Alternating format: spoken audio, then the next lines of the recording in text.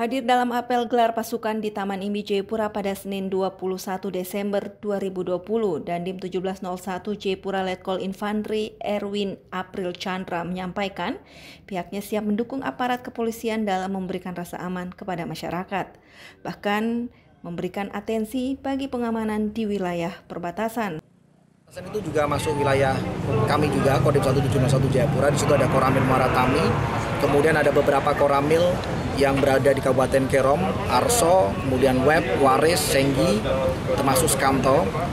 Kita juga di backup dari Pamtas, di mana Pamtas ini berada di bawah Kolak Op Korem 172. Di sana ada Batalion 413 dari Kostrad, kemudian ada juga Batalion Raider 100. Itu selama ini juga mereka juga aktif melaksanakan patroli-patroli cipta kondisi dan pengamanan perbatasan.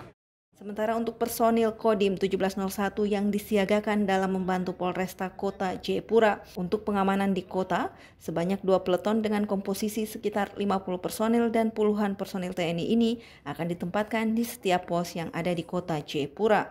Dari Jayapura, Papua, Melvi Andres Pamanggori, Noken Live mengabarkan.